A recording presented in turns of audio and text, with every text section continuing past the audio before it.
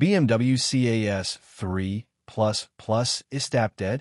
How to revive it with VVDI Key Tool Plus. No solder needed. Hey there, BMW tech warriors and automotive adventurers. Welcome back to Babaji Motors, the only pit stop you need for real-world diagnostics, practical solutions, and smart tech talk that actually works.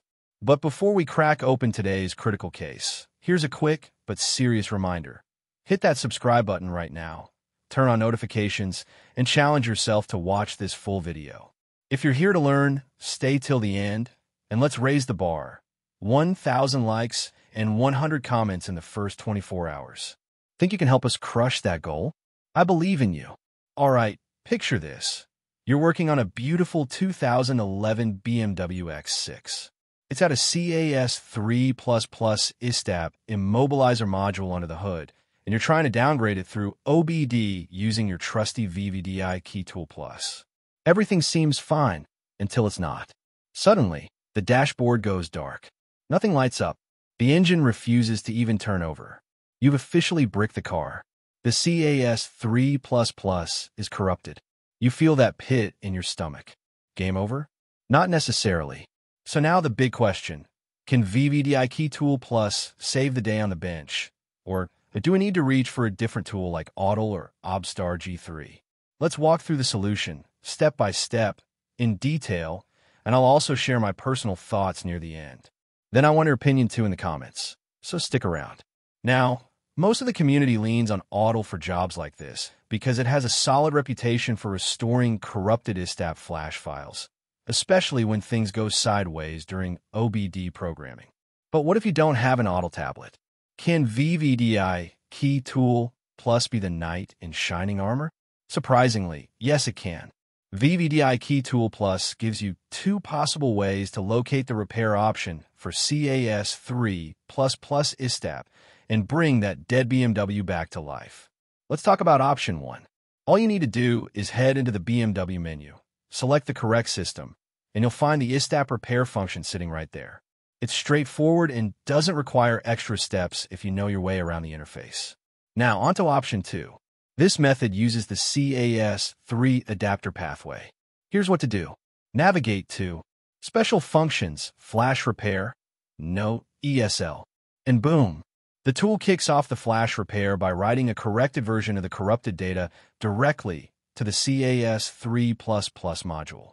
After a few minutes, if all goes well, you'll get a confirmation message that says, Write complete. That's your green light. That CAS3++ is now repaired and ready to get that BMW purring again. Now, a little secret weapon in your toolkit. VVDI's XNDP 11CAS3 solder-free adapter. This adapter is a game changer because it lets you do the job without any soldering at all.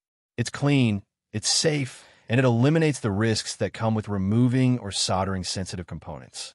Compare that with Autel, where you often must solder to get anything done. Xhorse just made life easier. But hold on, we're not done yet. There are a few crucial warnings and compatibility issues you need to understand before jumping in. Let's talk limitations. 1. If VVDI Key Tool Plus fails, and yes, that can happen, you'll need to fall back on a different tool. The most reliable alternatives include Autel and OBDSTAR G3, both of which handle corrupted CAS modules like pros. 2. Then there's the infamous BMW CAS 3++ and DME compatibility trap. Some Bosch DMEs that pair with CAS 3++ only provide a four-digit ISN. That's a big deal because most tools expect a 32-digit ISN. In all keys lost, AKL, situations, this means you're almost out of options, unless you own an AutoHex. That tool has a unique ability to convert a four-digit ISN to 32 digits. None of the others, AVDI, BMW Explorer, Tango, VVDI, or even Autel, can manage that. Brutal, right? 3. And here's why this model is so problematic. We're talking V8 BMWs like the E65 series, E63 6 series, and E70X5. These cars are built different. Most tools can't even extract a usable ISN. That's why key programming is often a nightmare on these units. So what's your plan B if repair fails? If the CAS is still corrupted and the car just won't respond, your best move is to replace the DME and CAS as a match set from a donor vehicle. It's drastic, but it works. And finally, a golden rule that too many overlook. Do not try to downgrade the CAS module unless your battery voltage is above 12.8 volts.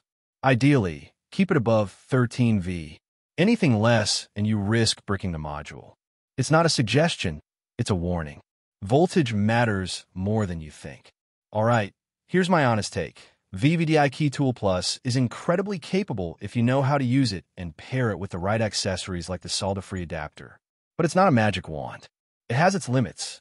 For tough cases like CAS3 plus plus ISTAP corruption, it can definitely save a day, but you need to understand the risks, battery requirements, and compatibility headaches. Now I want to hear from you. Have you ever bricked a BMW during programming? Did VVDI Key Tool Plus work for you? Or did you need Autel or AutoHex to bail you out? Share your experience in the comments. Your insights could help someone avoid a costly mistake. Also, please share this video with your diagnostic group chats, forums, or anyone who works on BMWs. If we can save one more tech from bricking a CAS module, that's a win for the whole community. And before you head out, don't forget the challenge 1,000 likes and 100 comments in 24 hours. Can we do it? I know this community is strong. Prove it. If this helped you, smash that like button, drop a detailed comment, and please subscribe if you haven't already. It's free and it fuels the channel so I can keep bringing you top tier content like this. If you're feeling generous, hit that super thanks to support our journey. I'll catch you in the next one. Until then, stay sharp, stay charged, and happy diagnosing.